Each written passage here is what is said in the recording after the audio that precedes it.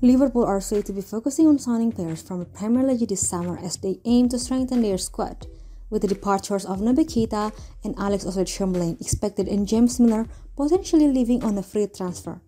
The Reds are in need of midfield reinforcements.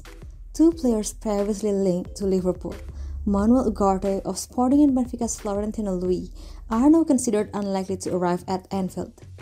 Alexis Mac Allister of Brighton is believed to be at the top of Liverpool's transfer shortlist, with the Reds reportedly meeting with the players' representatives to discuss their plans.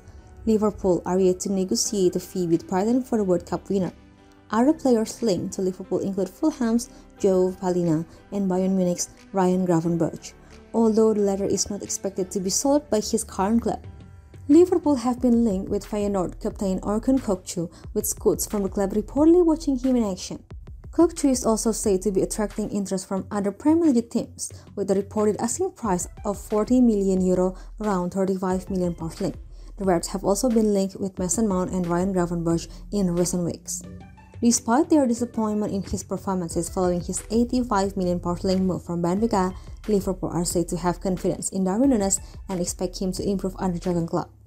However, they are reportedly seeking to sign players who are already proven in the Premier League in order to minimize the risk of teething problems.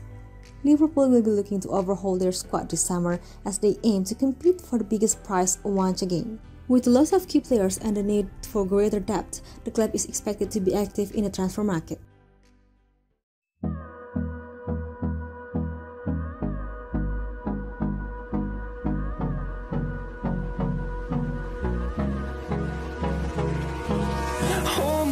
Close till I get up.